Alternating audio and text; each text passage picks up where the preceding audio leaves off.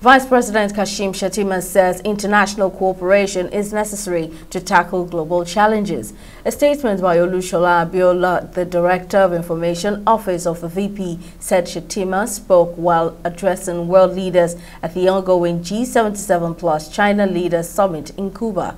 Shettima said the tension in some parts of the world must not be allowed to prevent countries from forging a mutually beneficial path to progress. Shettima also underscored the role played by science, technology and innovation in resolving challenges from the past to the present.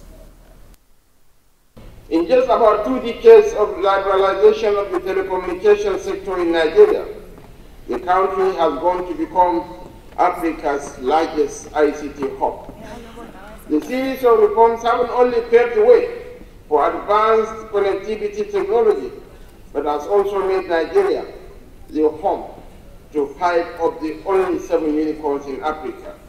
Unicorns that have become global enterprises and expanding. This is the relationship we intend to explore in partnering to rethink and recite the way we do things.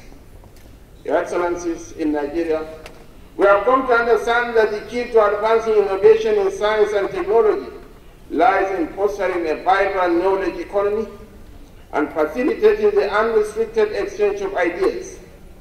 Across the globe, one will be hard-pressed to identify a premier institution, even within the most developed nations, where a Nigerian trained at home is not contributing significantly.